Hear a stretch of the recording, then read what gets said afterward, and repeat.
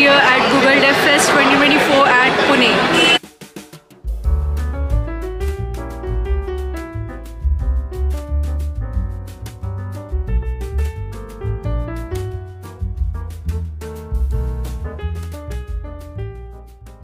Artificial intelligence and language models are going to change the way people live in this part of the world.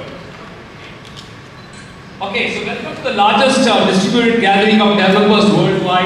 So, so I've been very proud and privileged to be associated with around nine DevFests so far uh, in, in, uh, in Google. So I want to thank you all for making it. How, many of you this is the first ever DevFest?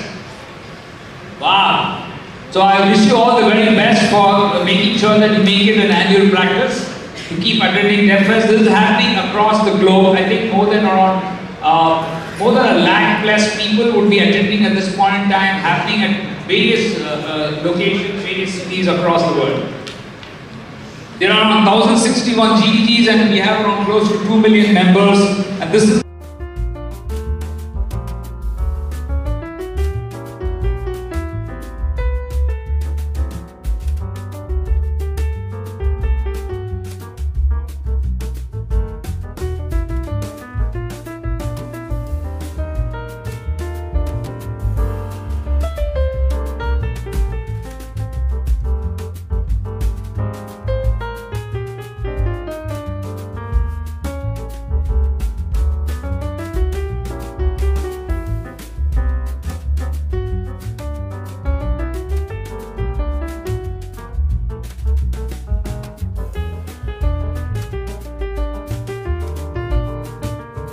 company.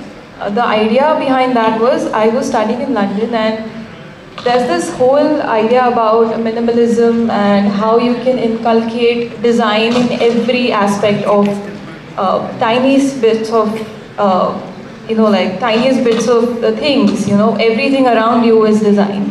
So I came with that inspiration and I wanted to do everything around branding and marketing and design.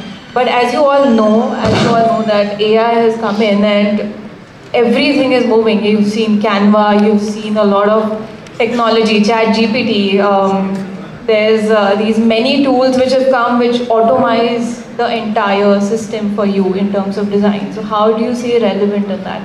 So currently at DB House of Media, we are not just a design and branding company, but we also inculcate audio visuals and we mix both of these medias and create um, branding campaigns, create um, personal brands for clients, celebrities, for uh, companies like Jawa Motorcycle where they can have their outreach across India.